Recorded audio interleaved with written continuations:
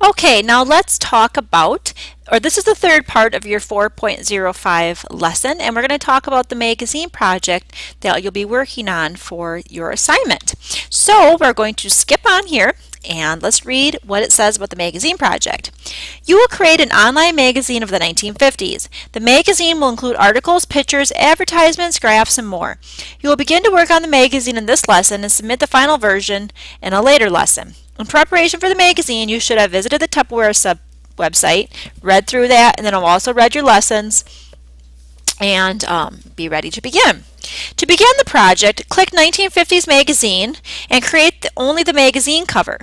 That is the 4.05 checkpoint is the cover itself.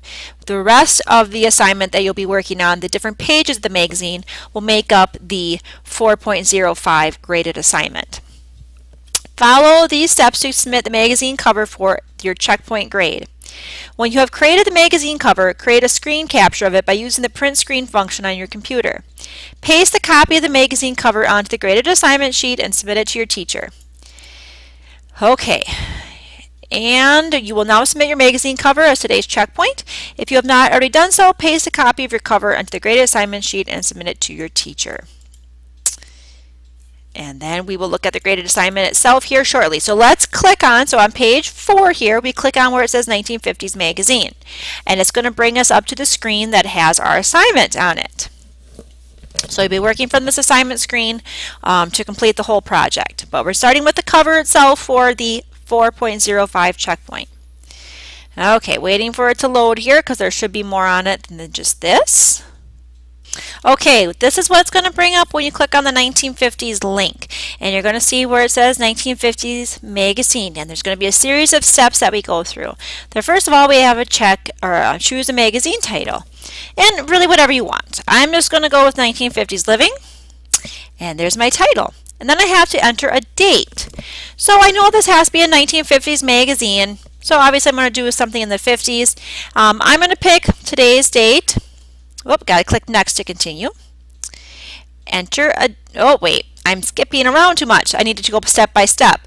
Choose an image for the magazine cover page and add a, enter a date.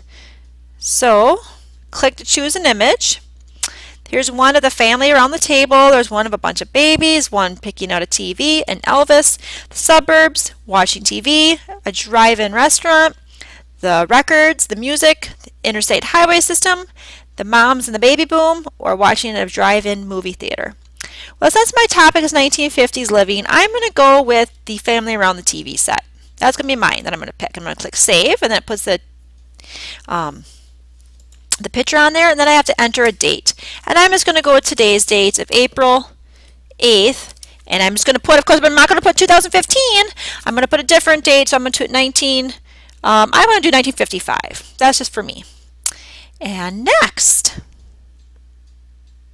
Now we have to, it says print, press the print screen key to copy this page now and paste onto your graded assignment sheet. So what I'm going to do is I'm going to find the function key, which is the FN, and on my keyboard, it's at the bottom left. It might be different on your keyboard, but you look for the FN key, and then you look for the print screen key, which is probably abbreviated PRT SC. And on mine, it's the bottom right. So I'm going to press the function and the print screen key together. I'm going to make sure I have, whoopsies, not that.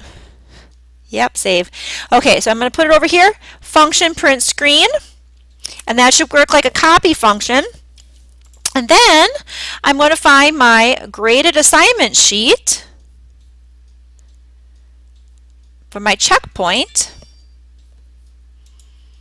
And let's get this open. Hopefully won't take too long here.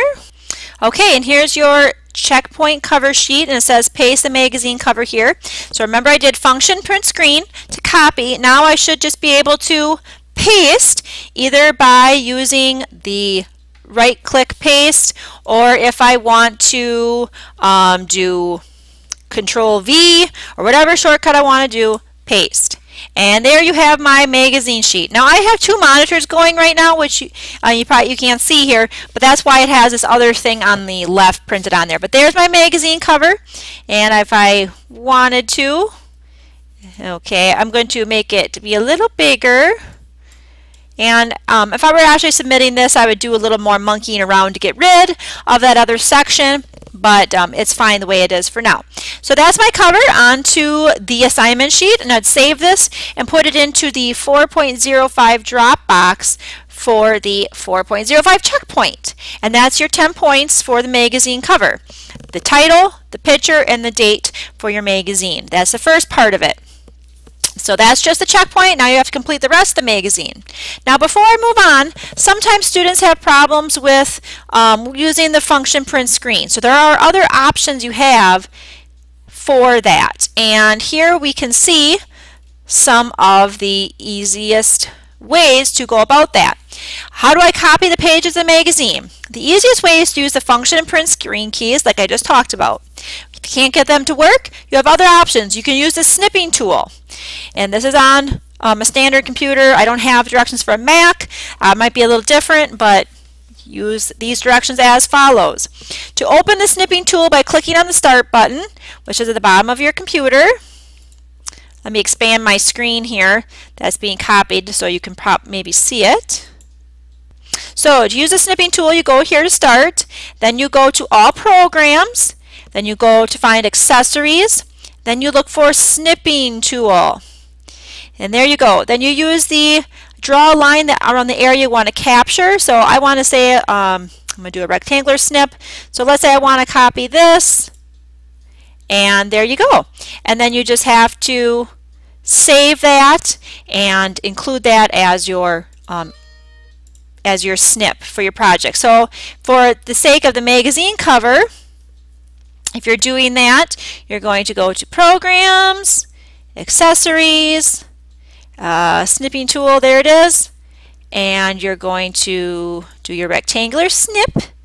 And I'm going to draw my box, well, try to draw my box. um, let me restart that. But I draw my box so it actually worked around my project and that's what I'd cut and then I'd paste it onto the graded assignment sheet. Yeah, not that one. No, I don't want to save it. Try that one more time. So you can see what I need to be doing. See, even I have problems with things occasionally. Snipping tool. Okay. New. Rectangular snip. So now I'm going to draw, there we go. That's what I want to include. And then I would save that as my, my um, image and I paste that onto the graded assignment sheet. So that's one, that's one way you can do that. If that doesn't work either for some reason, you can also use a program called Jing. And um, I can talk more about that if you still don't have things to work. Oh, wait a minute. There are some steps here if you to use a screenshot for a Mac. I have directions here with this WikiHow. There you go. So there's an option as well if you're using a Mac and you're still confused. Okay, so if, if you can't use the function print screen and if the snipping tool doesn't work for you either, then contact me and I can talk to you about Jing. Um, it's just a real nice program that allows you to do um, cuts from your computer as well. That works out really slick. Okay, so there are options for you to get that image cut to your assignment. Then, if we go back to the assignment then, let me find it. So the next thing you have to do is now you have to work on the rest of the magazine project. And this doesn't have to all be done in one day. Um, it's do a few lessons from here, but you want to get a start on it. I want to take you through what you need to do. So The first part of your magazine is the table of contents. So you have to pick four different topics from the list shown. The baby boom, the growth of the suburbs, increase, increased consumerism, influence of TV, automobiles, the highway system, and the birth of rock and roll. So I'm going to pick baby boom, TV, automobiles, and rock and roll. And um, you should also be saving this as you go along so you don't lose your work when you X out. So be sure that you're saving your work as you go. And then we click Next. And then we have to enter a one sentence description. So like for the baby boom, the 1950s found people to be very confident to start families and the birth rate boomed. That's my little one sentence description. And then I'd go on to write a description for TV, automobiles, and the highway system as well. I'd save once I was done with that and I'd click next. And then I would work on my editor's note. Some magazines have comments from the editor which sometimes consist of a story, comment, or reflections on a particular subject. When an editor's note, write an editor's note on one of the following subjects. Your personal impressions of the 50s in form of a song or poem with an explanation before or after. A 50s family, this could be someone you know personally or what you've read from the websites. A fun fact or craze you read about on a website, or people that did not share in the prosperity of the 50s. Click next to continue. Okay, so I'm going to, I think I'm going to write about a fun fad or craze that um, I read about from the 1950s. So I'm going to write, say, the new toys of the 50s are fantastic. The hula hoop and silly putty could keep my kids busy for days, for hours. I'm not going to say days, for hours on end. These simple yet fun, I can't type, fun toys are the best. The bestie, not the best. And then I'd go on to type more. Type more here. Da da da. And I'd you know, write a, a little paragraph. And then when I'm done and fine with that, then I'm going to click to choose an image. And yeah, none of these really fit my hula hoop thing, but I'm kind of going with the fun thing. So I'm going to go with the ketchup. And that's going to be my, my note here for the, um, that goes along with my editor's note about the toys of the 50s, or fun fad or craze. Okay, so I'm going to click Save before I move on. And then I'm going to click Next. And I'm going to start writing about the content for my magazine. And my first topic that I personally picked was the baby boom. And what I need to do is describe the baby boom of the 50s, include reasons for the baby boom, its effect on American culture, and its impact on working women. Okay, so that's what I need to summarize. And I'd probably want to um, go back and write a little rough draft before I put it all into my magazine. It just would save you time, I think, if you were able to kind of sketch out your ideas before you're putting it into your magazine project. Go back to the lesson reading, go back to the pages about the baby boom, and um, come up with some ideas of what you want to write about. And then you would enter your text here. You should have approximately three paragraphs per topic. So as you see three columns, that equals about three paragraphs. And then you also and I'm going to have, I'm going to click next, and then I'll write my three paragraphs. So I'll say like paragraph. You're not going to actually write paragraph one, but this, since this is just my sample, I'm going to do that. Paragraph two here, and then paragraph three here. And then I'm also going to click to choose an image. So I'm writing about the baby boom, so I probably want to pick baby type pictures. And for example, is that going to be about the baby boom, the jukebox? No. Um, however, this mom with the strollers, yeah, that's probably a good thing about the, about the baby boom. And then I'll read through everything, make sure I like it, click save, and then move on to next. But of course, if you find a, a, an error or if you want to go back and fix something later, you can always go back. And then I'm going to do the same thing with TV. And I'm going to do the same thing with automobiles and the birth of rock and roll at the end. When you're all done, you're going to make sure you click Save. And you will then go and you'll copy and paste each individual page.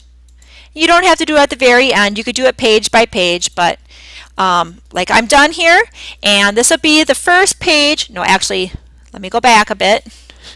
I forgot the table of contents, of the editor's note. That'll be the first page then that you include um, on your graded assignment sheet. It's going to say paste your first page here, and that's where the first page you'll paste onto your assignment sheet. And then you'll move on to the baby boom when you're done with that. That'll be the second page of your magazine. You'll copy and paste that using either the function print screen or a snipping tool, and you'll copy that onto the assignment sheet. When you're all satisfied, you submit it to the 405 Dropbox and you're good as gold. Good luck everybody.